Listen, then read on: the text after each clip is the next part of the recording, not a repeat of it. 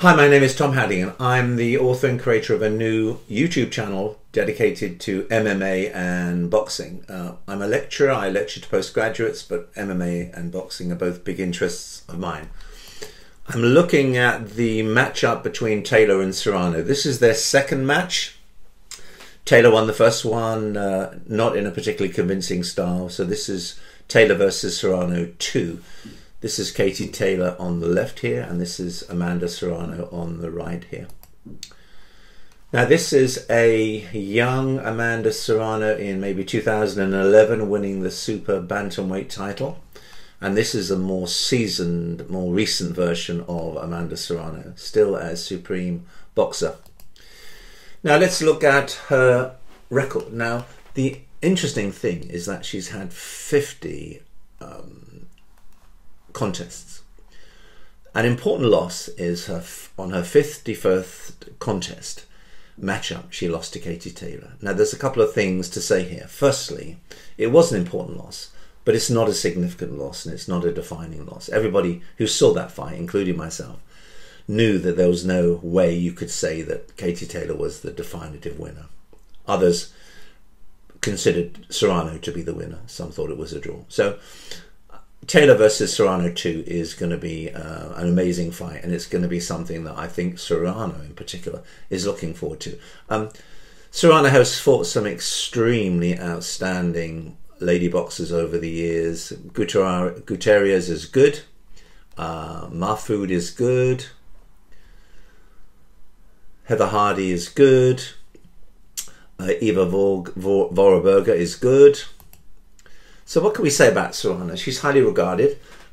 In in Europe, she's considered with Katie Taylor to be maybe one of the world's truly leading outstanding female boxers. I know there are other Americans who would claim that title.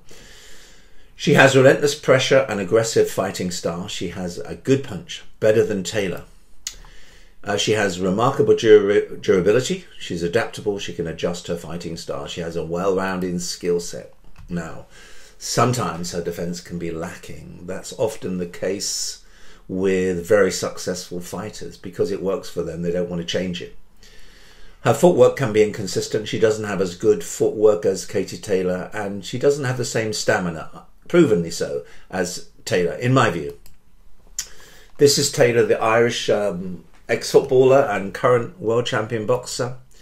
She hasn't had as many um, matchups as um, Serrano, uh, and she's this is her 25th fight, and she lost to one of her first 24. She lost to the British um, Chantelle Cameron, but she was able to reverse that. She's had a lot of uh, really important victories. Her victory over Amanda Serrano was a bit fortuitous, but it's still a victory. She's um, a good victory against Gutierrez, a good victory, two good victories against Delphine Persoon. Uh, many thought that um, Persoon actually won the first fight, the 14th fight, the 14th matchup on Katie Taylor's career. Um, but she's now uh, scheduled to fight uh, Amanda Serrano for the uh, titles on uh, Friday. Let's have a look.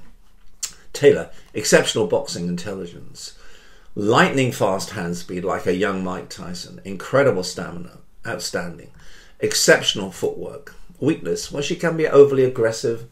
Um, she lacks the raw power of Serrano. She has a slightly smaller stature than some of her larger opponents, but she has strengths that outweigh her weaknesses. Okay, right. This is my new channel. Thank you for watching. Um, this is me on the left, Tom Haddigan, and um, I hope that that you enjoy the fight between Taylor and Serrano.